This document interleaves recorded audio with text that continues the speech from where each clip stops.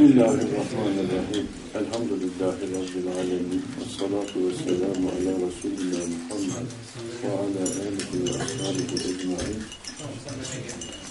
Estağfirullahal azim ve etûbü ileyh. Amma ba'd. Muhterem kardeşlerim, bugünkü dersimizin konusu kurban.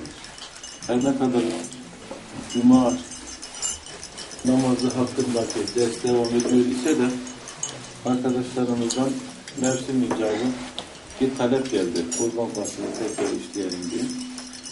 Doğrudur. ihtiyaç hasıl olduğundan dolayı yeri gelirse tekrar eden ibadetlere bakmak güzel olur.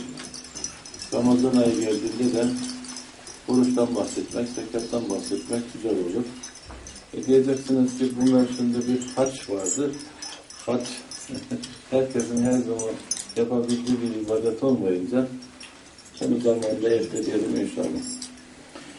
Değerli kardeşlerim, kurban bölümünde müellifimiz kurbanın tanımı, kapsamı, türü, ayıplı olup olmaması, kurbanın eti ve diğer parçalarıyla ilgili hükümler ve bir de kurban cinsine girdiği için kısaca akikadan bahsetmiş. Yani doğan çocuklar için kesilen şükür kurbanı. Belki biz bunun üzerinde durmayacak bir cümleyle geçiştireceğiz. Şimdi Kur'an-ı Kerim'de ya da işte daha evvelki kitaplarda, dinlerde Kur'an-ı Kerim estağfurullah kurban kesimi denilebilir. Müellifimiz kurbanın tanımı ve tarihçesi diye böyle bir bahis açmış. Üzerinde çok durmasak da olur. Yalnız burada çok enteresan bir başlık var. Yahudilikte kurban, Hristiyanlıkta kurban diye başlık atılmış. Tarih boyunca hemen bütün dinlerde kurban uygulaması görülmekle birlikte aralarında şekil ve amaç bakımından bazı farklılıklar vardır. Denilmiş. Şimdi bu tür ifadeler benim çok dikkatimi çekiyor. Yahudilikte kurban, Hristiyanlıkta kurban veya işte orada da Tevrat'ta şöyle geçiyor gibi Kur'an'ı anlatmalar. Bu ifadeleri doğrusu ben biraz yadırgıyorum. Muhterem müellifi tanırız. Hamdi Döndüren hocamız bilgili bir insandır. Efendim, cemaatimizdendir. Fakat ne hikmetse son zamanlarda çıkan bir hastalık var. İbrahimi dinler diyorlar. Yani Hz. İbrahim'in neslinden gelen Hz. İsmail, Hz. İshak ve soyundan Musa ve İsa ve Hz. Muhammed Mustafa. Bunlar birdir. Dolayısıyla Yahudilik, Hristiyanlık ve Müslümanlık kökü İbrahim'e dayanan semavi, ilahi dinlerdir. Bunlar birbirleriyle kardeştirler. Lafı bir adım daha öteye atarak Yahudi ve Hristiyanlar Hz. Muhammed'in de peygamberliğini kabul ederlerse Yahudi ve Hristiyan kalmakla beraber mümindirler, cennete de girerler. Son zamanlarda biliyorsunuz bir diyalog kelimesi etrafında fırtına koparılıyor. Diyalogcu musun, değil misin? Birbirlerine karşı yerli yersiz çok kırıcı ithamlarda bulunuyor. Osman hocamız bu konuda bir yazı yazmıştı dergide. Fakir birkaç yerde ben de bu konuda ortak kanaatimizi şöyle ifade edebiliriz.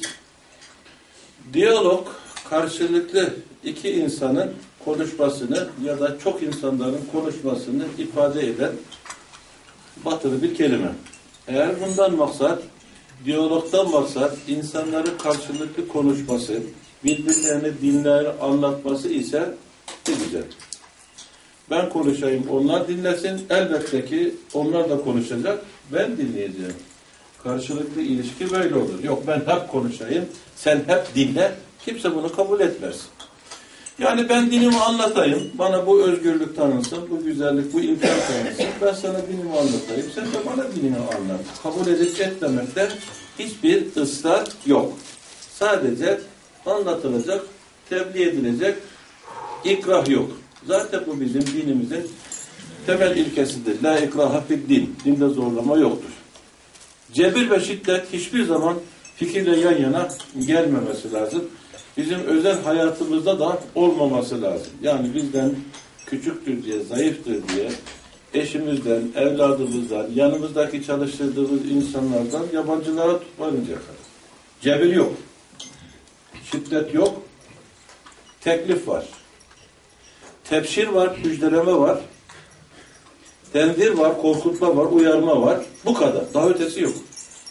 Daha ötesi insanın sorumluluk alanı. Cezası varsa ya da mükafatı varsa kendisi alırsınız. Söyler ve geçersiniz. Hadi devletler başka bir şey tabii. Devlet bir şeyi kanun olarak koyar, bunu da uygular. Onun gücü vardır. Devletin jandarması vardır, polisi vardır, mahkemesi vardır, cezalandırma biçimi vardır. O devlettir. Kişiler için söz konusu. Her neyse.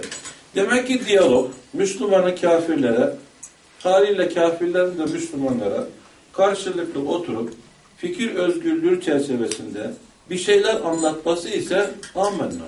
Bu olur. Biz dinimize güveniyoruz elhamdülillah. Çok Biz anlatırız ve ikna ederiz genelde. Allah hidayet verdiyse onlar da kabul eder. Onlar da bize anlatsınlar. Bize yabancı bir dinin anlatılmasından bizim dinimize inancımız, bilgimiz sağlamsa, güzelse kimse bize bir zarar veremez. Ama diyalogdan maksat demin söylediğimiz gibi Yahudiler de Hristiyanlar da hak bir peygamberdir. Hak bir peygambere bağlı mübarek semavi ve ilahi bir dindir. İşte Hz. Muhammed'in de peygamber olduğunu bir Yahudi bir Hristiyan kabul ederse ellerindeki Tevrat ve İncil'e göre yani kendi şeriatlarına göre ima, ibadetlerine devam ederlerse onlar da mümin cennete giderler. Kimse kusura bakmasın. Giremezler. Mümin de olamazlar. Kur'an-ı Kerim'in bu kadar ayeti kerimesi bu konuda nazil olmuş. Yani Kur'an-ı Kerim inerken Yahudi yok muydu? Hristiyan yok muydu? Onları İslamiyet'e davet etmiyor muydu? İnnellezine keferu min ehlil kitabi vel müşrikin fi nari cehennem halidine fiha. Ne demek? İnnellezine keferu. Hiç şüphesiz ki kafirler. Cinsiz, çeşit çeşit kafir vardır. İnnellezine keferu min ehlil kitabi vel müşrikin. Burada da min cinsini beyan ediyor. Ehli kitaptan, Yahudi ve Hristiyan olanlardan ve putperest, Allah'a ortak koşan kafirlerden. Fidari cehennem, bunlar cehennem ateşindedirler. Halidine fiha, orada çıkmamak üzere ebediyen kalacaklar. Ulaikahum şerrul beriyye, halkın da en şerlisi onlardır. Biz böyle söylediğimiz zaman maalesef kendi ferdi çok da ciddi bir kısım insanlar kalkıyorlar. Onlar da bize diyorlar, cennet babamızın malı mı diyorlar. Allah dilediğini koyar diyorlar. Allah dilediğini koyar. Amenna. Fakat Allah dilemediğini Kur'an-ı Kerim'de beyan etmiştir. Biz ona dayanarak söylüyoruz. Oradaki ondan tuttuğu nokta sanırım bizim peygamberimizi kabul ettikten sonra kelimesi herhalde bu bağlamak için bizi teskin etmek için mi acaba o kelime nasıl bir ağır? E yani yanlış yanlıştır. Bir adam Yahudi kalmayacak. Ulemamızın dediğine göre Yahudidir, Hristiyandır. Hazreti Musa İslam peygamberidir. Yani müellif de buradan e, hürmetlerimizi arz ederiz. Allah hayırlı ömrünü uzun eylesin. Bu kelimeler dikkatli seçilmemiş. Kitap yazarken müellifle bazen kendi doğrultusunda gider ama şuradan ya da buradan gelecekleri hiç hesaplayıp düşünmezler. Aklında yok ama zaman bir kısım soruları sordurur adama. Onun için çok dikkatli olmak gerekiyor. Eğer bir Yahudilikte, Hristiyanlıkta der, Yahudilikteki kurbanı Hazreti Adem'in Kabil ve Habil'inden, Hazreti İbrahim'in oğlu İsmail'e kurban kesmesinden alarak yaparsak bu bir, değil, bu Yahudiliği anlatmak değildir. Bu İslam'ı anlatmaktır. Arkadaşlar işin özü şudur. İnne dine indallah el İslam. Allah katında bir tane din vardır. O da İslam'dır. Hazreti Adem'in getirdiği din İslam'dır. Hazreti Musa'nın getirdiği din İslam'dır. Yahudilik, Musevilik değildir. İslam'dır. O gün ona insanlar yabancı bir dil, İbranice ne derlerse desinler. O önemli değil. İslam'dır. Hazreti İsa'nın getirdiği dinin adı İslam'dır. Ama bugün Yahudi, Hristiyanlık diye bir din var. Bu din Hazreti İsa'nın getirdiği din değildir. Bu din Hristiyan din adamların, keşişlerin, papazların eski bilgileri İncil'e de dayanmış olabilirler kaynak olarak ama tahrip ettikleri, değiştirdikleri, bozdukları dindir. Dolayısıyla semavi olmaktan, ilahi olmaktan çıkmıştır. Peygamberimizin zamanına geldiğinde bunlar birer batıl din olmuştur. Bu batıl din olduğu için Allah Celle Celaluhu ayeti kerimelerle müşrik Arapları, putperestleri dine davet ettiği gibi Yahudi ve Hristiyanları da dine yani hakiki dine Allah katında tek geçerli din olan İslamiyet'e davet etmiştir. Onun için İbrahimi dinler diyerek, semavi dinler diyerek, ilahi dinler diyerek Yahudiliği ve Hristiyanlığı bunların arasına sokmanın anlamı yoktur. Bunlar birer batıl dindirler. Biricik din vardır. Hak din, geçerli din Allah katında. İnne dine indallah el İslam. Yoksa ne oluyor biliyor musunuz? Yani adam diyor ki ya Yahudi de cennete gidecekse hocam Hristiyan da gidecekse bir. Amerika, Avrupa, kilise bol bol para dağıtıyor her yerde. Benim dinime gel diyor. Benim dinime gelirsen sana yardım ederim. Önümü açarım diyor dünya. İkincisi içki haram değil. Zina haram değil. Dansı var, balosu var. Her türlü şehvetlerime uygun. Size gelince namaz diyorsunuz, oruç diyorsunuz, yükleyip de yüklüyorsunuz. Lan hem namaz kılacağım, hem oruç tutacağım, efendim hem e, zinaya gitmeyeceğim, içki içmeyeceğim. Sonra bir de cennete gidip gitmedim de garanti olmayacak. Halbuki öyle olursam içki içerek hiç de namaz kılmadan cennete gitmenin yolu var. Suçumuz ne diyor adam? Yahudi ve Hristiyan cennete giderse hem dünyada para alarak hem de bir sürü İslamiyet'in yaşadığı menaneti yaparak cennete gitmek varken niye ben zoru seçeyim diyor adam. Niye beni Müslümanlık diye sıkıştırıyorsunuz? Var mı bunun bir cevabı? Eğer onlar da hakiki değilse cennete gideceklerse bunun bir cevabı yok. Ama beşerin türlü dalaletleri var. Putunu kendi yapar, kendi tapar. Kendi put yapar, sonra da ona tapar. Hazreti Ömer biraz daha a, gülüncünü söylüyor değil mi? Acıktığımız zaman da yerdik diyor. Helvadan put yapar, tapardık diyor, oynardık. Sonra da acıkınca da yerdik diyor. Aklıma geldikçe gülerim bu halimize diyor. Tabi aklına geldikçe ağladığı haller de var. Sizler onu biliyorsunuz. Onun için Habil ve Kabil Allah'a bir kurban takdim ettiler. Geçmiş şeriatlar diyoruz. Bakın şeriat değişir.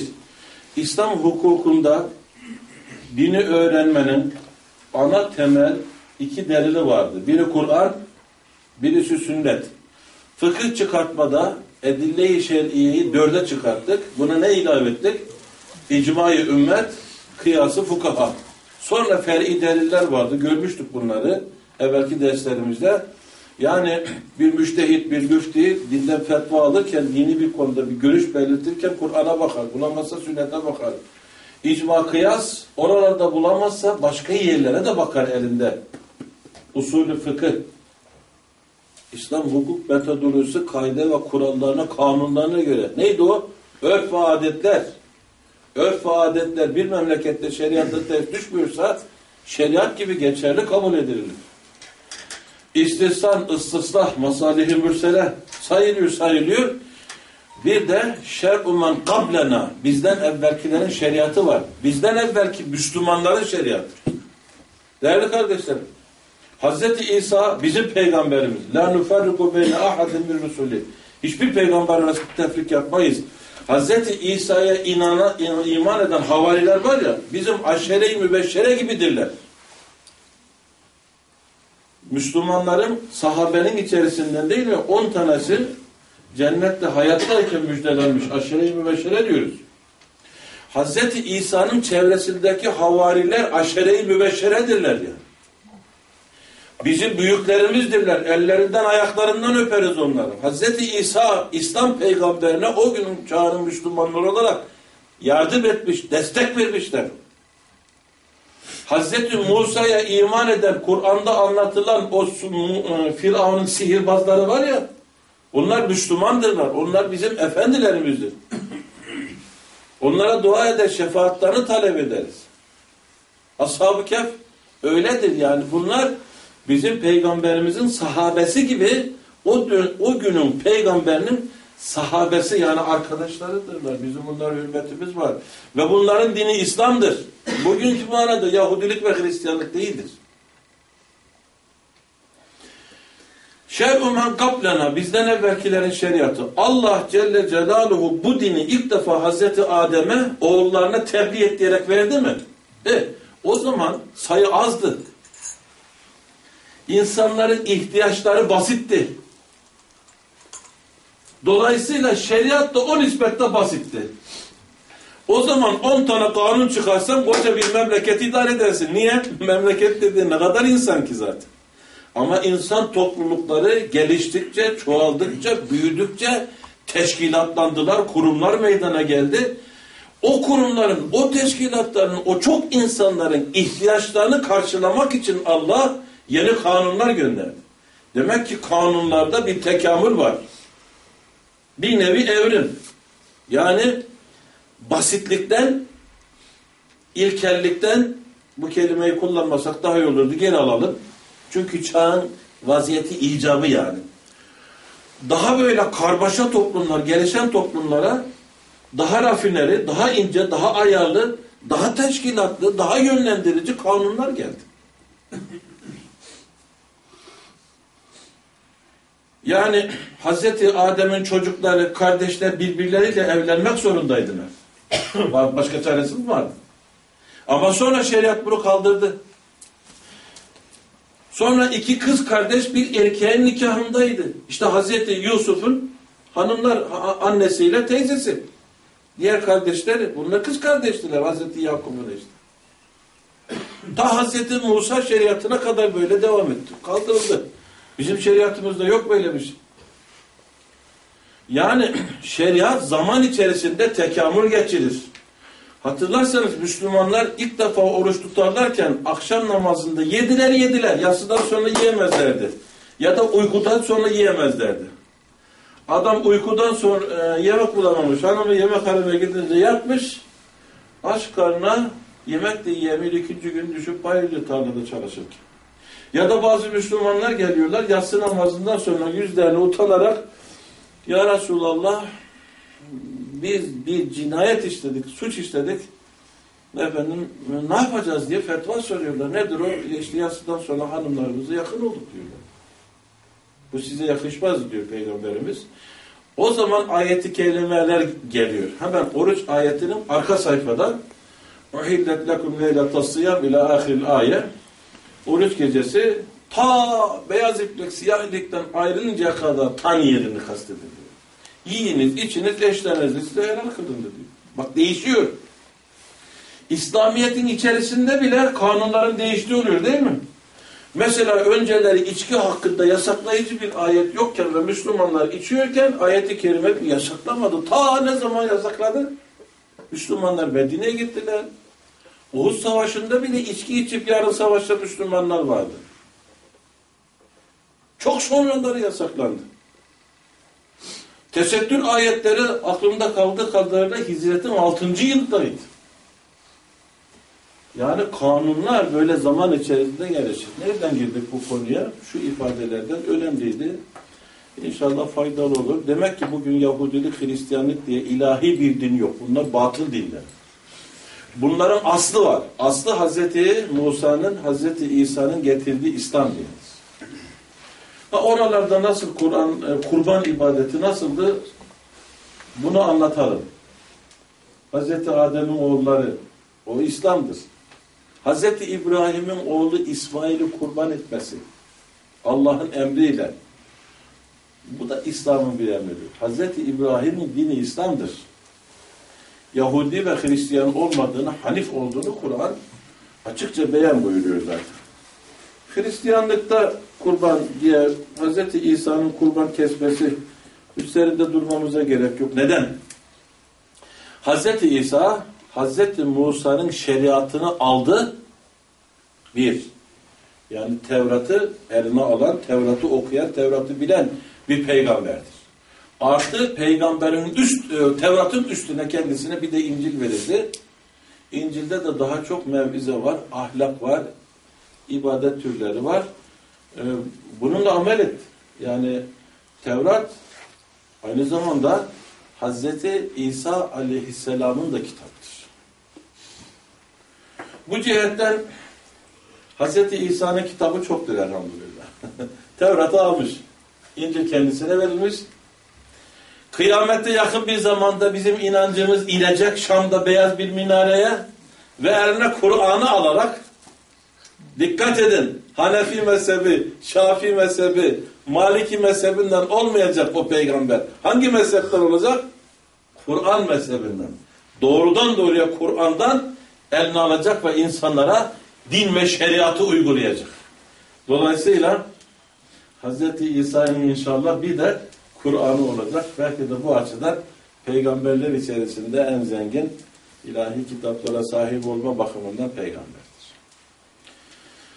Öyleyse Allah katında din birdir ve bu Kur'an ibadeti kadim eski bir ibadettir diyerek özetleyelim. Tıpkı namaz gibi. Tıpkı oruç gibi. Neydi oruç ayeti? Bismillah. Ya eyyühellezine amanu kutibe aleykumus sıyam kema kütübe alellezine min kablikum. Leallekum tefsirun. Ya eyyühellezine amenu. Ey iman edenler, ey Müslümanlar kütübe aleykumus sıyam size oruç farz kılındı. Kema kütübe alellezine min kablikum. Sizden evvelki geçmiş ümmetlere, Müslümanlara da farz kılındığı gibi. Amaç nedir? لَاَلَّكُمْ تَتَّقُونَ Takvalı olmanız için. Demek ki oruç bizden evvelkilere de farzdır. Bize farz olduğu gibi. Kadim bir ibadet. Bütün ibadetler böyledir yani. Kurban bir ibadettir. İbadet oluşu Kur'an'la sabit, sünnetle sabit, icma-i ümmetle sabittir. Delili budur. Bize de vacip ya da sünnet oluşu, bu değişir. Ama girişi yani dilimize ne zaman olmuştur? İslamiyet 610'da Mekke'de Kur'an-ı Kerim'in inmesiyle başladı değil mi arkadaşlar? Mekke'de 13 yıl kurban diye bir ibadet yoktur. Peygamberimiz Medine'ye hicret buyurdular. Kurban diye bir ibadet yoktur. Bir yıl yaşadılar. Kurban diye bir ibadet yoktur. İkinci yıla gelince Şevval aylarına doğruydu. Allah Celle Celaluhu aynı yıl içerisinde orucu, fıtır sadakasını, bir rivayet zekatı ve kurbanı farz kıldı. Öyleyse kurbanın farz kılınma tarihi Hicri ikinci yıldır.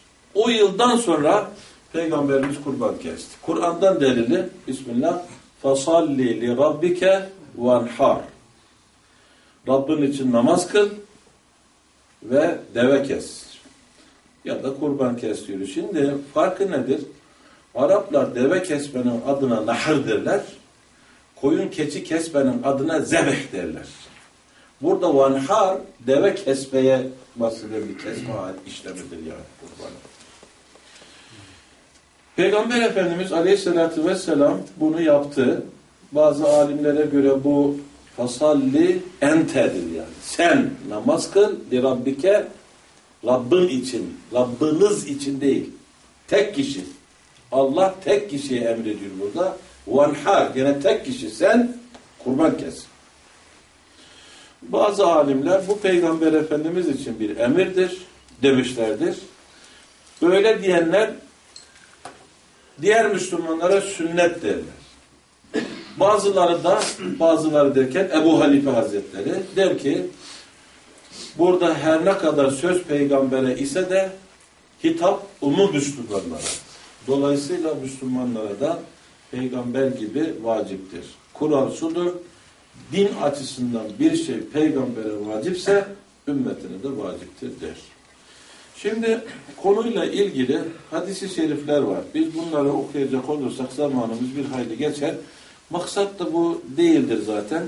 Öyleyse delil olarak şunu söyleyelim. kur, e, kurbanın hükmünü bildiren aynı zamanda hadisi şerifler olsun buna. Babanız İbrahim'in sünnetidir diye peygamberimize kurban ne olduğunu sorulmasına cevabı budur. O kurban babanız İbrahim'in sünnetidir. Hz. Ayşe'den gelen bir rivayette peygamberimiz Adem olduğu için Allah katında kurban bayramı gününde kurban kesmekten daha sevilen bir amel yoktur. Bu hayvan kıyamet günü boynuzları, kılları, tırnaklarıyla gelecek. Şüphe yok ki kurbanın kanı yere düşmeden önce Allah'a ulaşacak. Allah Celle Celaluhu başka bir ayeti kerimede ne diyordu? Onun etleri, kanları Allah'a ulaşmış. Allah'a ulaşacak olan nedir? Sizin takvanız. Yani Allah'a iman, kurban kes sözüne iman ve bu emri yerine getirerek kurban kesme. Yani emre itaat. Allah buna bakar. Etler burada kalıyor. Onları da biz yiyoruz. Tarihte kurban etlerini yiyen de biziz yani. Aynen savaşlarda alınan ganimetler gibi. Daha evvelki şeriatımızda peygamberimizden evvelki diğer peygamber efendilerimize gelen şeriatımızda kurbanlar Allah'a takdim edilirdi. Gökten bir ateş kabul edilen kurbanı yer, diğerini yemez. Dikkat ederseniz Habil ve Kabil'in kurbanları da böyle oldu. Fetukub bile minhuma onlardan birisi kabul olundu, diğeri kabul olunmadı, öbürü hasedildi, kim güttü. Kardeşini öldürdü. Ama hikaye malum. Kurbanın etinin yenmesi de bu ümmete bir merhamettir. Ümmeti merhamet, ümmeti Muhammed. Elhamdülillah. Bu da bize bir nimet olmuştur. Şimdi Peygamber Efendimiz ve diğer peygamber efendilerimizden bahsederken hafif tebessüm ettim farkına vardıysanız. O, o da niye? Çünkü bizim cuma günü tövbe istiğfar ettiren imam kardeşlerimiz yüzünden sayarlar sayarlar peygamber efendilerimize ve haseten bizim peygamberimiz Hazreti Muhammed Mustafa derler. İyi ki cemaat bunu yanlış anlamıyor. Hasreten bizim peygamberimiz deyince sanki ötekiler bizim peygamberimiz değil de kimisi Yahudinin, kimisi Hristiyanların peygamberleri. Dikkat edelim buna. Allemehul beyan. Allah beyanı öğretti bize. Dil anlaşılması, anlaşmamız için Cenab-ı Allah'ın yarattığı bir harikadır. Dilin yaratılması ve dili konuştuğumuz kelimelerin yaratılması. Şu ağzımızdan çıkan kelimeler, siz anlıyorsunuz. Bir İngilizce, Fransız olsaydı burada konuşan anlamazdınız. O da bizim gibi kelimeler, seslerden. Nedir bu ses? Kim çıkarttı bunları? Kim koydu bu manalara? Bir harika. Ve nitekim Kur'an-ı Kerim'de bu dilin, lisanın, konuşmanın beyanı öğreten Allah Celle Celaluhu'nun varlığını, bildiğini, gücünü, kudretini, ilmini ortaya koyan büyük bir delil olarak sergileniyor. Gayet açık. Ama gel gör ki 21. asra gelmişiz. Özellikle Müslümanlar ne kadar cahilleşiyorlar İslamiyet'ten uzaklaşmakla, Kur'an'dan uzaklaşmakla. Örneği budur ki bazı insanların kendi konuştukları dilleri dil sayıp saymama yüzünden bugün kan dökülüyor, kan. Örneği Kürtçe bir dil var mıdır? Ana dil midir? Sana ne ya? Kürtçe diye bir dil konuşuyorsa birileri ve bunu Kürtçe diye kabul ediyorsa o bir dildir. İster ilkel olsun, ister geri olsun. Sana ne ya, bana ne? Anasından öğrendiği zaman neyi konuşuyorsa bir çocuk ona ana dil derler. Ana dil de bir dildir. Adamın öğrenmeye hakkı var. Yaşamaya hakkı var. Bu hakkı bu zamana kadar kimse gasp etmemiş. Birisi çıkar ben gasp ederim derse işte orada kavga çıkar. Kavga çıkar. Çıkartmamak lazım. Türklerin dili de saygın bir dildir. İngiliz'in dili de saygın bir dil. Değerli kardeşlerim yarın Amerika'daki bütün herkes ya da Fransa'da yaşayan bütün Fransızlar Müslüman olsa Arapça konuşmak mecburiyetinde tutacak mıyız onları? Müslümanların dili Türkçedir, Arapçadır, Farsçadır diye mecbur edecek miyiz dinlerini terk etmeye? Ne alakası var? Bu da bizim farkında olmadan aldığımız eğitim yüzünden, ırkçı eğitim yüzünden beynimizin istemesek bile farkımızda olmadan ırkçılaşmasıdır. Kayıyoruz yani, zihin kayıyor. Böyle olunca anlaşmak zorlaşıyor. Kardeşlerinle anlaşamıyoruz. Hasreten bizim peygamberimiz de buna benziyor. Bir zihin kayması var. Bütün peygamberler bizim peygamberimiz. Elhamdülillah.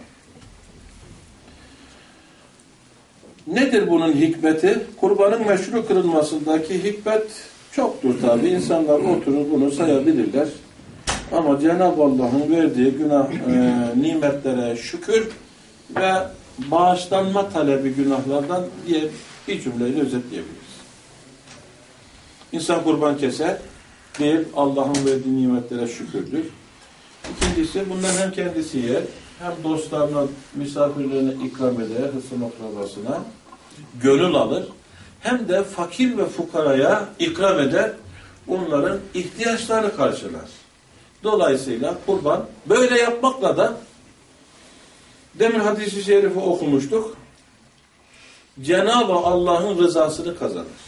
O yüzden kurbanları Hz. Ayşe annemizin rivayet ettiği hadis-i şerifin sonunda geçen cümleyi tekrar okumak istiyorum.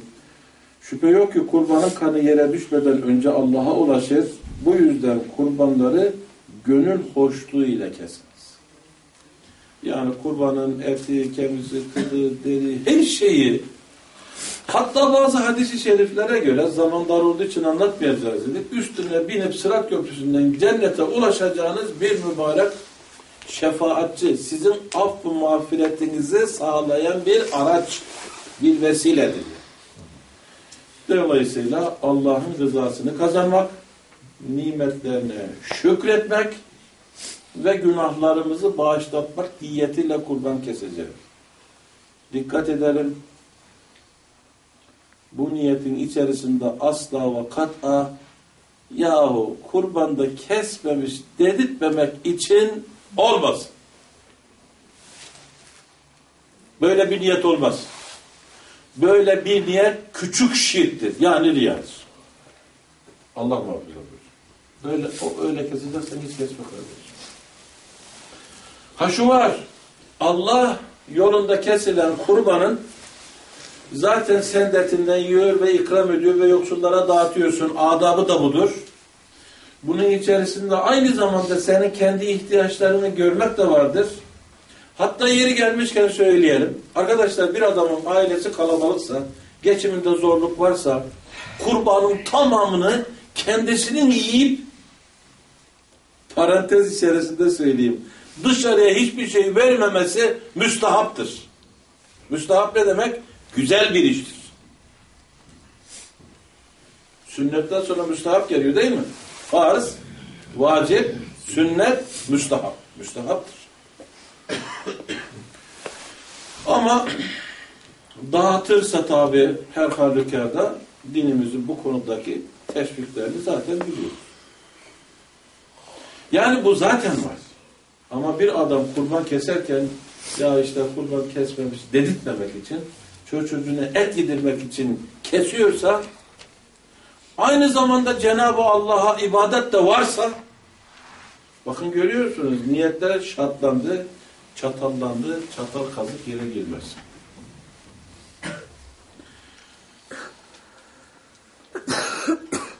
Kul innema ene beşerun mislukum yuha ileyye ennema ilahukum ilahun vahid. Femen kâne yercu liqa'a rabbihi فَلْيَعْمَلْ عَمَلًا صَالِحًا ve la yüşrik bi ibadeti rabbihi ahada. Ve men kâne yercu liqâ'a rabbihi kim Rabbına likayı, kavuşmayı umut ediyor, iman ediyorsa burada tabi umut fel ya'mel amelen salihan salih amel işlesin. Ölüm gelmeden evvel Allah'ın emirlerini yerine getirsin. Ve la yüşrik bi ibadeti rabbihi ahada. Ve la yüşrik şirk koşmasın. Ortak koşmasın. Araya bir denk benzerini girdirmesin. Bir ibadeti Rabbihi Rabbisine ibadet konusunda ahada hiç kimseyi, hiçbir şeyi. Riya neydi? Allah için yapılması lazım gelen bir işi hem Allah hem insanlar için ya da tamamen insanlar için yapmak. Yani namazı yalnız kalsaydı kılmayacaktı. Herkesle beraber ezan okununca camiye gitti. Adam camiye gitmesin, bu da gavurmuş dedirtmemek için o da gitti. Olmadı işte. Ya da sadaka verdi, insanlar ne cömertmiş desinler diye. Birisini peygamberimize anlattılar Uhud Savaşı'nda ya Resulallah düşmanla öyle bir savaşıyor ki biçiyor önüne gelenleri. Çok büyük fedakarlıklar yapıyor. Cehennemlik dedi peygamberimiz. Sahabeler dikkat çekti. Peşine düştüler bu adamın. Sonra bu adam zahire bakarsanız şehit oldu, yaralandı. Yaralı esnasında gittiler, Kuzman diye adını da verelim. Dediler ya ne mübarek bir cihadı mı vardı senin? Ne cihadı ya dedi. Ben Medine'deki malım için savaştım. Cihat bir ibadetse sadece lillah için değil mi? Allah rızası için olmalıydı. Vatan için, hurmalıklar için. Yok. Onun için önce vatan sözünü de değerlendirmek lazım. Önce Allah. Başka bir şey dava yok. Allah davasını gerçekleştirirken bunun yanında bir sürü menfaatler de gerçekleşir. Yani biz Allah yolunda cihad ederiz, aynı zamanda vatanı koruruz, ırzımızı koruruz değil mi? Neslimizi, çorumuzu, çocuğumuzu, insanımızı koruruz. Bir sürü şeyleri korumuş oluruz. Ama niyetimiz nedir? Allah rızası için. Benimle Amerikalı bir asker savaşırken farkı budur. Eğer Allah için değil de önce vatan dersek o da vatanını düşünüyordur. Farkımız kalmaz. Yani bu ifadeler, bu niyet etme biçimi davranışlarımızın altındaki sebepler, amaçlar çok ama çok önemlidir. O yüzden aynı işi yapan iki kişi birisinin tepesi arşa değer, birisi yerin dibinde çakılır kalır. İnnemal a'malu bin niyyat. Ameller niyetlere göredir. Adamın biri bir kadına talip olmuş Mekke'de. Kadın demiş ben hicrete gideceğim. Sen de oraya gelirsen düşünürük. Ben gitmeyeceğim hicrete demiş o da. Müslüman. Kadıncağız hicrete gitmiş hicret sırasında. Adam demek ki çok seviyormuş. O da gitmiş hicrete. Arkasından gelmişler ve evlenmişler. Müslümanlar şaka yapmaz mı? Yaparlar tabi. Yemekte tuz kadar da olsa şaka yaparlar. şaka iyidir değil mi? Yerine göre iyidir. Böyle çok ciddiyet ilmi meselelerde e, yorardı adamı. Efendimiz şaka yapardı. Kendisine de şaka yapılırdı. Bunu da hoş karşılardı. Müslümanların arasındaki şakaları da hoş karşılardı. Ama yalan olmamak, kırıcı olmamak kaydıyla. Müslümanlar da buna herkes Allah rızasını hicret ederken muhacir lillah derlerdi. Buna da el muhacir li fülane dediler. Falan kadının muhaciri. Peygamberimiz de bunu duyunca öyle buyurdular. İnnemal amal niyat. Ameller niyetlere kadar kim hicreti Allah rızası içinse bunun sevabını alır. Kimin rızası da erişeceği bir dünyevi maksatsa ya da bir kadınsa onu elde eder ama Allah katında bir şey alamaz. O bakımdan kurban kesecek kardeşlerimiz kurban kesmekten amaçlarının sadece Allah rızası onun emrini yerine getirmek olduğunu söylemelidir. Öbür amaçlar zaten kendiliğinden gerçekleşiyor. Peki kurban kesmek din açısından hükmü nedir? Arkadaşlar kurban kesmenin hükmü İmam-ı Azam'a göre vacip. İmam-ı Azam'ın Hanefi mezhebinde iki talebesi İmam Muhammed ve Ebu Yusuf dahil İmam Şafii, İmam Ahmet, İmam Malik hepsi sünnet demiştir. Yani burada vacip diyen sadece Hazreti Ebu Hanife Efendimiz'dir. Rahmetullahi aleyh. Hanefiler bu görüşü esas almışlardır. Hanefi mezhebindeki alimler Ebu Hanife'nin görüşünü mezhepte geçerli, fetva verilir almışlar alimler. Biliyorsunuz, daha evvel çok söyledik. İmam Ebu Hanife mezhep içerisinde bir yerde olsa, iki imam da onun karşısında olsa, müftüler bu ikisinden birisini tercih etmekte muhayyerdirler Hanefi mezhebine göre. Yani siz ister Ebu Hanife'nin görüşünü alırsınız, isterseniz iki imamın görüşünü alırsınız. Yani Hanefilerde de diğer üç mezhepte olduğu gibi kurbanın hükmü nedir sorusunun cevabı Ebu Hanife'ye göre vacip, İmameyn'e göre sünnettir. E hocam, evet, yani İmam-ı Azam dururken İmameyn'in görüşü alınır mı? Alınır. Çok alınmıştır hem de. Aha size bir örnek. Hem de kurban mevzusundan. Elinde kitap olan kardeşlerimiz sayfa 789 açsınlar.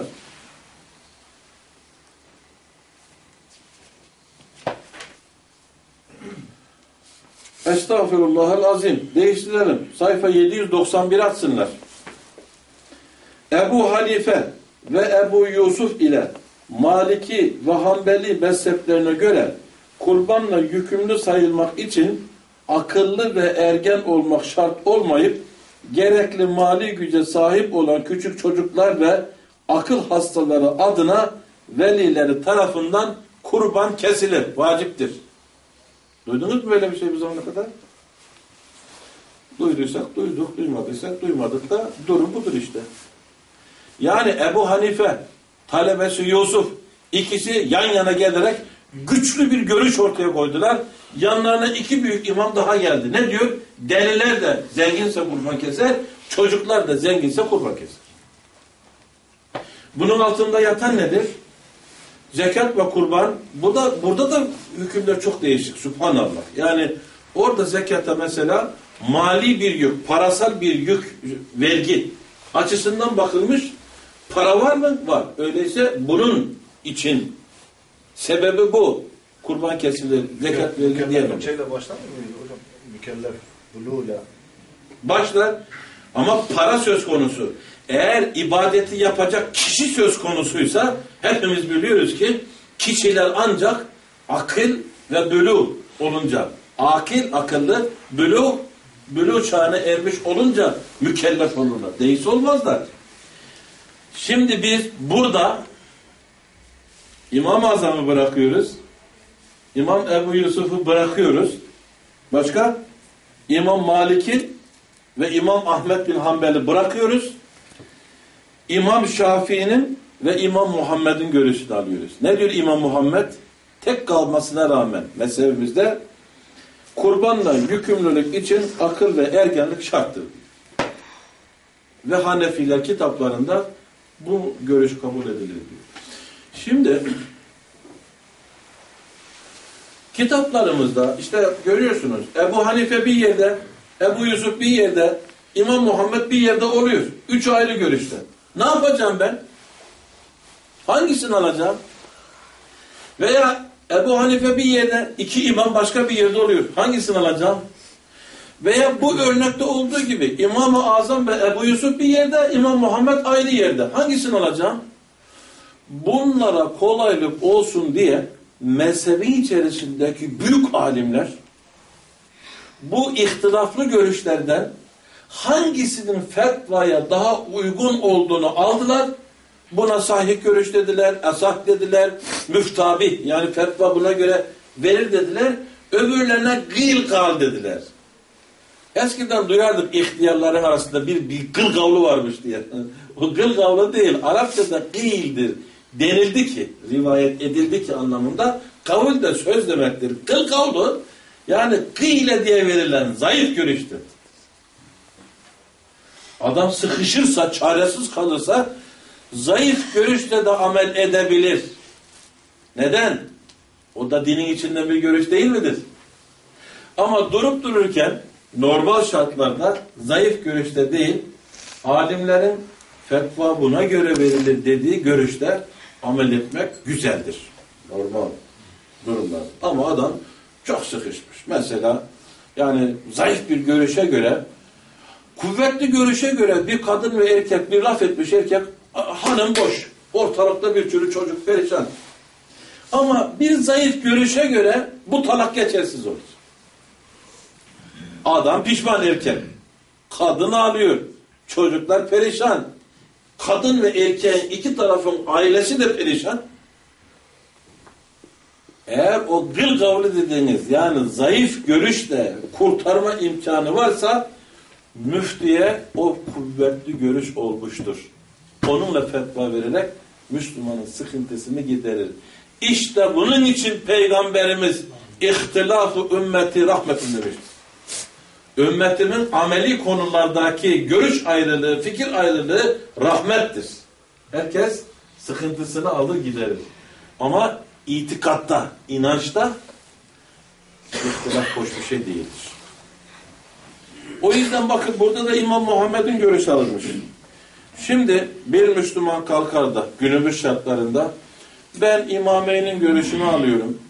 Yani Şafiiler gibi, Malikiler gibi kurban kesmek sünnettir diyorum.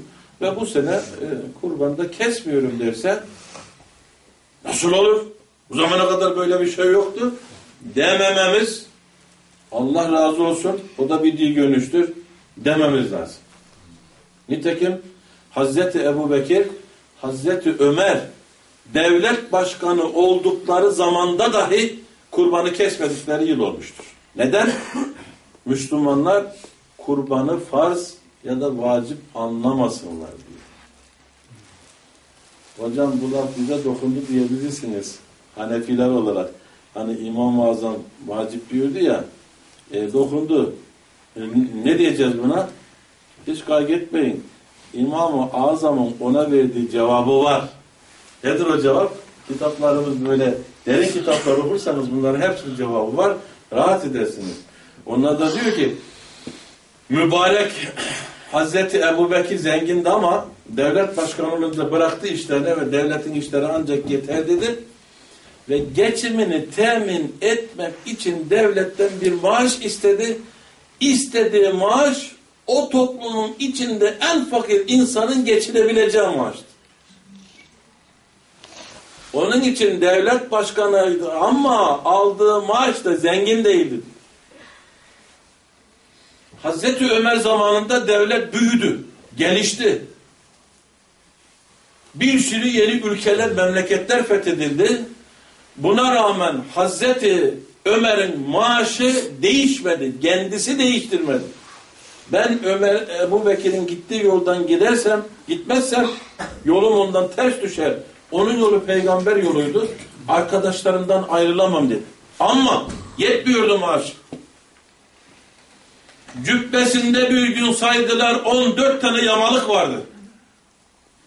Kimisi de dereden yamalıktı. Kumaş bile değil.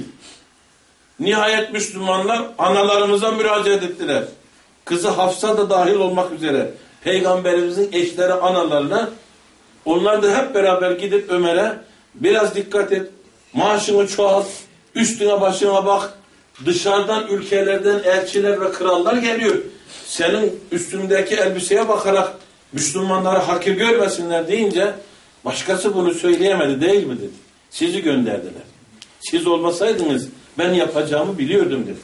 Ve ağlayarak kendisinden evvel giden iki insan anlattı. Ne yapım o Ebu Bekir Bana başka fırsat bırakmadı dedi. Aldığı maaş da bununla geçinebileceğini gösterdi. Ben bunun üstüne yapamam dedi. Öyle de hayatını da buna ayarlamıştı. Yani devletin yemeğini yerken de böyle yerdi. Devletin aşçısı yemek getirir kendine tarif yüzle bir yemek yerdi ve sonra aşçı evine gider kendine yemek yapar yerdi. Kendisiyle yemek yemezdi. Niye benimle yemiyorsun deyince de bu yemek yenmez dedi. Aa dedi aşçıya. Sana şimdi emretsen bir oğlak kessen onu fırına sürerken taze efendim ekmeğle bir de ekmek yapsam bu arada vakit geçerken kuru üzümlerin üstüne soğuk suyu döktürüp de rengini alsa böyle bir renkli hoşaf da olsa Aşçı baktı. Ya o halife ağzının tadını bilir mi be dedi. Bilirim oğlum bilirim ama dedi. Ya Allah bana ahirette elhebtum tayyibatikum fi hayatikum dünya. Bu kafirler için söylenmiş. Dünya hayatında bütün güzelliklerinizi, amellerinizi yediniz, bitirdiniz. Bugün size hiçbir şey kalmadı diyor Allah onlara. Ya bana da öyle dese ben ne diyeyim? Yani tatlı yemek yemiyor. Ki ahirette bunlar amellerinin gitmesine orada aldın canım bunun karşılığını dedirtmemek için. O, onlar öyle insanlar. İran düştüğü zaman İran büyük bir medeniyet. Bizans büyük bir medeniyet. büyük medeniyetler Müslümanlar yendi. Çünkü davaları büyüktü. Allah'ın yardımıyla fetih oldu ve onların böyle hazineleri Medine'ye, Mekke'ye attı. Bunların arasında çok enteresan şeyler vardır. Mesela e, İran kralı Kisra kış günü böyle bahar içerisinde e, şarap içmek keyfi gelirse bir halı yaptırmıştı. Şöyle bir sene koca bahçe kadar içinde ağaçlar, desenler her şey var. Sanki bahar gelmiş gibi yaşanır. Bu halıyı parça parça kestirdi. Herkese birer parça dağıttı Hazreti Ömer. Şimdiki bazı tarihçiler diyor ki bunlar kalsaydı bir servet ederdi ki diyor. Bu bir insanlık ortak medeniyeti keşke yapmasaydı diyorlar. Hazreti Ömer bu medeniyet medeniyet. Böyle bir açık ekmek var ya bizim. Açık ekmek gelmişti. Bu ne dedi? Böyle bembeyaz, geniş bir şey. Dediler bu açık ekmek şöylerine bir oldu. Vay be bu biraz sağlam olsaydı üstüne Kur'an yazdırsam kabilelere gönderseydim ne güzel din anlatırdı diyor. Onun kafası hep buralara gidiyor. Ve bu esnada bir çeşit de tatlı gelmiş oradan. Tadına bakmayın dediler. Oradaki gavurlar böyle yerlermişti. Ağzına bir koydu tatlıyı. Bir tane bu ne ya dedi. Ağzından attı tatlıyı. Bu ne ya dedi. Ne oldu dediler? Ya bu ne tatlı bir şey dedi. Adam buna sahip olmak için katil olur. Birbirini öldürür ya dedi. Ben yemem böyle şeyler. Götürün şehitlerin çocuklarını hediye edin. Nasıl insanlar? Allah o aslanların emrinde dünyayı pençelerinde böyle zebun ediyordu işte. Bu imanla. Sayılarının çokluğundan filan değil. O devrin süper gücüydü onlar. Bizans ve İran. Çağın Amerika ve Rusyası gibi. Müslümanların elinde parça parça oldu. Öyle insanlar. Hazreti Ömer, İmam, İmam Azam nereden geldik buraya? Şuradan geldik. Evet, Ebu Bekir ve Ömer kurban kesmemişlerdi devlet başkanı oldukları zaman bazı sene. İşte bir e, kurban sünnettir diyenler görüyor musunuz? Vacip olmadığını göstermek için Müslümanlara kesmediler diyor. İmam-ı Azam ve Hanefilerde yok yok fakir oldukları için devlet başkanının olduğuna bakma. Devlet başkanı ama aldığı fakir maaşı olduğu için kesmemişlerdi. Yani üstlerine düşmemiştir diyor. Kurban ne zaman kesilir? Çok az bir zamanımız kalmış. Bir on dakikamız mı var? Kurban şehirlerde, şehir nedir? Geçen hafta gördük değil mi? Cuma namazının kılınması için şehir olması lazım. Şehirlerde bayram namazı kılınan yerler oluyor aynı zamanda. Bayram namazı kılındıktan sonra kesilir. Birisi tutar bayram namazından evvel aslında farz oluşu ne zamandır? Sabah namazı fecir girer girmez. Zenginse farz olur. Yeri gelmişken söyleyelim. Ne zamana kadar? Üçüncü gün akşam namazına kadar. Bir adam fakirdi. Bayramın üçüncü günü ikindi zengin oldu. Mesela miras geldi. Mesela hediye geldi. Kesmesi lazım. Vacip oluşu o gün sabah namazı ise de eğer orada bayram namazı kılınacaksa sabah namazında kurban kesemez. Namaza gitmesi lazım. Bayram namazından sonra. Bayram namazından evvel şehirde kurban kesenler etlik kesmişlerdir. Namazdan sonra yeniden kurban keseceklerdir. Ama bayram namazı kılınmayan yerlerde üstüne vacip olan zaman sabah namazı vakti olunca oradan itibaren kesmeye başlayabilirler ta üçüncü gün oluncaya kadar. Sadece İmam Şafii dördüncü günde kurban kesilir demiş. Tabi ilk gün kesmek daha faziletlidir.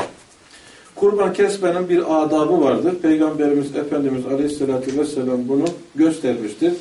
Kurban kıbleye yatırılır arkadaşlar. Bunlar hep Efendimizin sünnetlerinde beyandır. Bismillahi Allahu Ekber denilir. Mümkünse sahibi keser. Değilse kendisi besmele çektiği gibi Müslüman, mütedeyyin bir kasap, yani kesmekte mahir bir insan, ona verirse başında bulunur, kendisi de söyler, kasabın da söylemesini emreder, kasap da söyler. Çünkü bilerek tesmiye, yani Allah'ın adını anma, terk edilirse o leştir yenmez. Unutulmuşsa bir mahsur yok. Kur'an-ı Kerim'de ayeti kerimeler var. İnne salati ve nusuki ve mahyayi ve memati lillahi rabbil alemin la şerikele. Bunu okumak. Hatta biraz daha öncesinden Peygamberimiz alırdı. İnni veccehtu veccihellezi fataras semavati vel arz diyerek oradan başlar. Bunu okuması efendim yine sünnettir. Peygamber Efendimiz Aleyhisselatü Vesselam kurbanının başında bulunur. Bazen bizzat kendi eliyle kestirdiği olmuştur. Başkasına verip kestirdiği de olmuştur. Allah'ın dedi bir gün iki kurban kesmişti. Bu iki kurbanı senden ve yine sana ait olmak üzere Muhammed ve ümmeti adına kesiyorum. Birisini kendi adına, birisini ümmeti adına kesti. Bir adam bir kurbanı alır da kaybederse ya da bir şekilde kesmezse yeni bir kurban alır da o kurban da bulunursa ikisinden birisini daha ala, daha e, iyi olanını kurban eder. Kurban bayramında kesilmek üzere satın alınmış bir kurbanlık hayvan kesilmeyip de bayramın üçüncü günü geçmiş bulunsa niye kesilmedi? Kesemedi.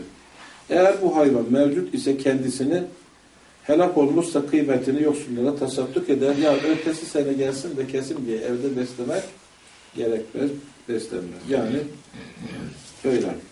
Üçüncü gün zengin olsa bir adam keser demin dedik.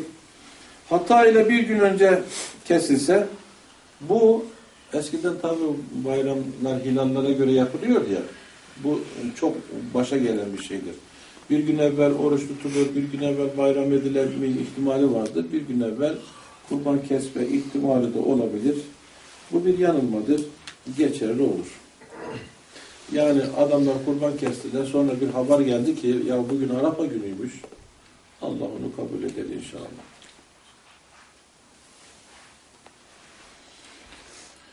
Zilhicce'nin 10. günü olduğu halde zeval vaktinden önce sabit olursa bayram namazı kılınır. Bundan sonra kurbanlar kesilir. Normali bu. Fakat zeval vaktinden sonra sabit olursa bir haber geldi ki arkadaşlar bugün kurban bayramıymış. Her tarafı Maraş gibi zannetmeyin. Veya eski zamanları düşünün. Böyle telefonlar, böyle haberleşme imkanları yoktu. O zaman zeval vaktinden sonra sabit olursa hayvanlar o gün bayram namazı kılınmaz fakat kurbanlar kesilebilir. Zeval vakti yani öğle namazından sonra kurban bayramı kılınır. Kurbanın ayıplı olmaması lazım. Kurbanlar ehli hayvanlardan kesilir. O da sığır ve da, e, sığır ve davar cinsi. Koyun keçi, inek öküz, camuz da inek öküz gibi, deve de onlar gibi. Sığır, e, davarlar bir kişi için, sığırlar, develer bir ile yedi kişi arasında. Şimdi burada uzun uzun anlatmayalım. Akla takılan bazı soruları soralım. Bir sığır aldık üç kişi. Arkadaşım biri daha geldi. Beni de katın aranıza dedi. Ya biz bunu aldık parasını verdik kurban diye. Bir kişi daha dahil edebilir miyiz? Edebiliriz. Yediye kadar geçerlidir. Yapabiliriz. Yapmamak daha iyi aslında da. Ama caizdir. Tasadduk etsin diyorlar bazıları fazladan aldığı parayı. Bir kimse tek başına kesmek için aldığı bir deveye veya sığıra daha sonra altı kişinin daha ortaklık olmasına razı olsa bu kurban caizdir. Ancak bunda kerahat vardır. Dolayısıyla kerahat dolayısıyla aldığını tasadduk etmesi tavsiye olunur. Etmesi de kerahatle beraber olur. Paylaşım muhakkak tartıyla olmalıdır. Götürü usulü Efendimiz razıyız olmamalı. Buna tavsiyedi tabi. Hangi hayvanlar kurban olmaz? Dört türlü hayvan kurban olmaz. Bir ya da iki gözü körlüğü, apaçık hastalık, o kadar hasta ki suyun arkasından bile gidemiyor. Topallık ve ileri derecede zayıflık. Buna şunlar da ilave edilmiş. İki gözü veya bir gözü kör olması. Kurban olmamasını gerektiren kusurlar anlatıyoruz. Dişlerinin çoğu düşmüş olması. Veya kulakları kesilmiş olmak. Boynuzlarının biri veya ikisi kökünden kırılmış olmak. Anadan doğma boynuzu yoksa bir mahsuru yok. Kulağının veya kuyruğunun yarısından çoğu veya memelerinin başları kopmuş bulunmak. Doğuştan kulakları veya kuyruğu bulunmamak veya ayağı kesilmiş olmak kurbana mani hallerdendir. Peki şunlar mani değildir arkadaşlar. Nedir o? Kurbanın şaşı olması, topal uyuzlu deli olması, boynuzlu veya boynuzsuz ya da bir boynuzundan birazcık kırılmış. Hafif kusur.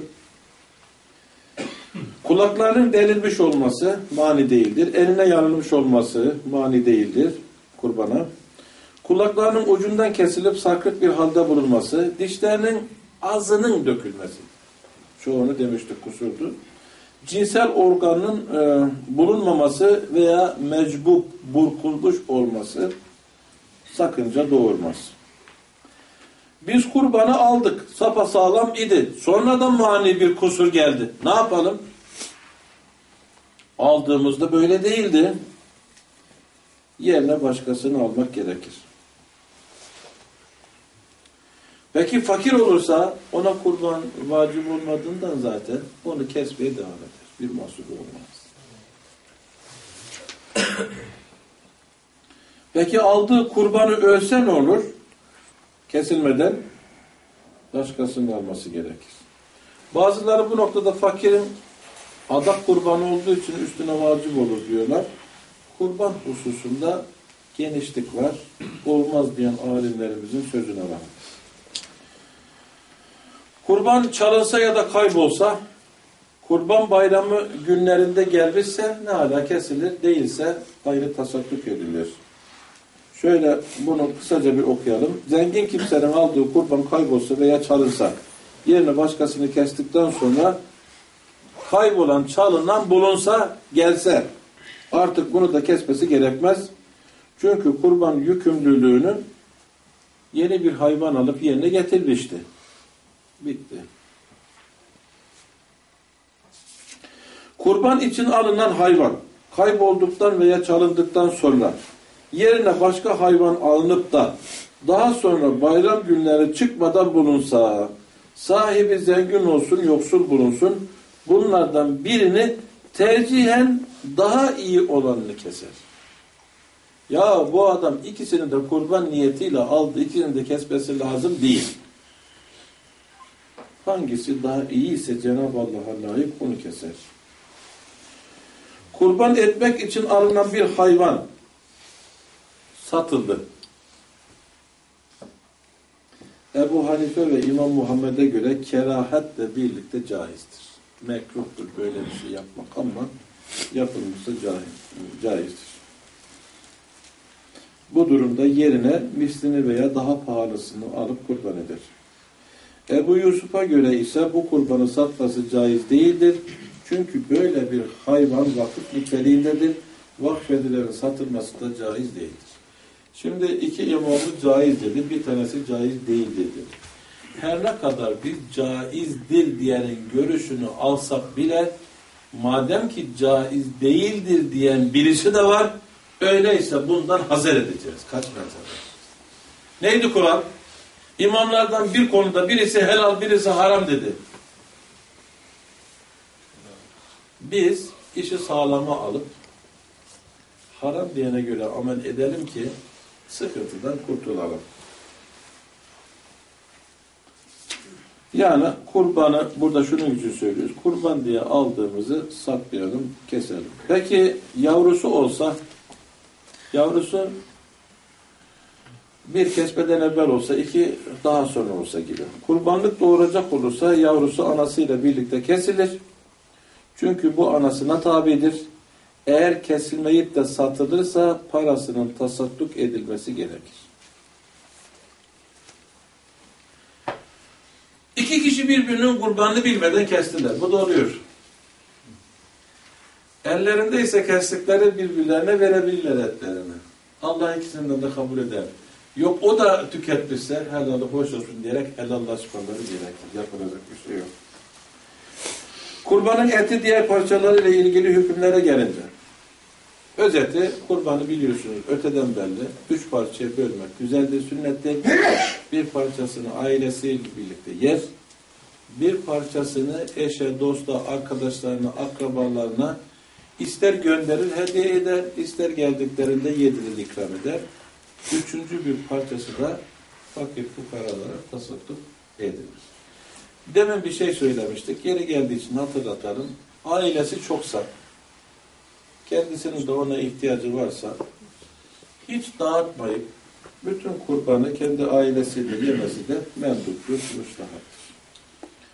Kurban etinden kendisi de yer, dilediklerini de yedirir ama adak eti biliyorsunuz kendisi ve beslemek mecburiyetinde olduğu ana baba yukarıya doğru, çocuklar aşağıya doğru dahil, eşi, hanımı dahil yiyemezler. Yemişlerse parasını öder. Peki etin yarısını yesek de yarısını satsak olmaz mı? olmaz. Neden? Çünkü bu Allah rızası için kesilmiş bir ibadettir. Dolayısıyla hatta derisini kasap ücret olarak vermek bile doğru değildir. Hocam zekatta derlerdi ki zekatı bulunduğun yerlere dağıt. Kurbanda da var mı? Evet var. Kurbanda da güzel olan herkesin kendi mahallesindeki fakirlere öncelik vermek. Ama daha fazla ihtiyaç sahiplerinin bulunması durumunda başka yerleşim birimlerine gönderilmesi veya orada kesiminin sağlanması için vekaleten orada alınıp kesilmesi bu da caizdir ve yerine göre de kardeşini tercih etme açısından güzeldir. Caizdir. Yani. Bir insan bir kurban kesse sevabını başkasına bağışlasa olur mu? Olur. Bir kimse vefat eden birisinin emriyle onun adına keseceği kurbanın etinden yiyemez. Vasiyet üzerine kesildiği için. Bu farklı bir şey. Evet arkadaşlar, akika kurbanı çocuk doğunca özellikle 7. günü başı tıraş edilir. Ağırlığınca altın tasaddukuyla beraber doğan çocuklara şükür için kesilen kurbandır. Akika kurbanı tavsiye edilir. Yapılırsa bir sünnettir. Yani bir mecburiyeti yoktur. Kurban hükmü budur. Allah hepinizden razı olsun. İbadetlerinizi kabul buyursun. Gönüllerinizi hoş eylesin inşallah. Subhane rabbike rabbil izzeti amma yasifun. Ve aleyhi ve sellem. Velhamdülillahi rabbil alemin.